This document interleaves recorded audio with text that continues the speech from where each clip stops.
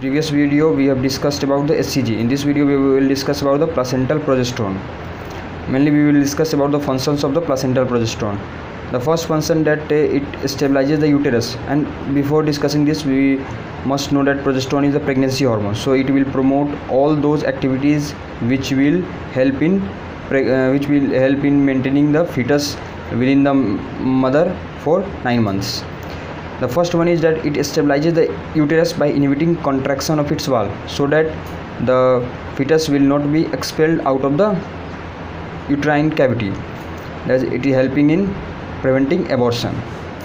The second one is that it increases the number of lobules and alveoli of breast so the milk uh, secretion capacity will increase. So it also helps in the uh, growth of the breast by increasing the number of alveoli and lobule whereas estrogen helps in breast development by increasing the length of the tubes.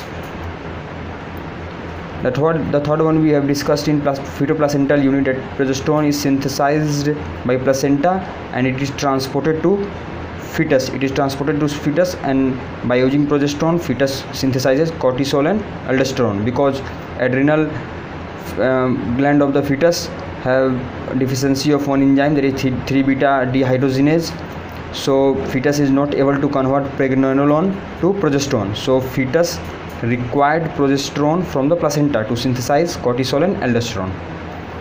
So this was the third function. The fourth one is that progesterone is also believed to play a role in inhibiting the maternal immune responses to fetal antigens.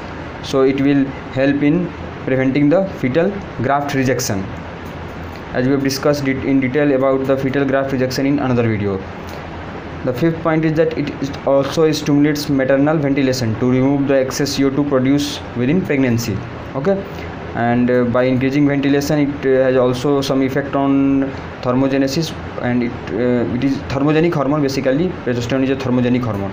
So that was the probable five function. That first one was uh, stabilizes the uterus. The second one was increasing lobules and alveoli. The third one was uh, and aldosterone and the fourth one was uh, it is believed to play a role in inhibiting the maternal immune response. And uh, the fourth one the last one was maternal ventilation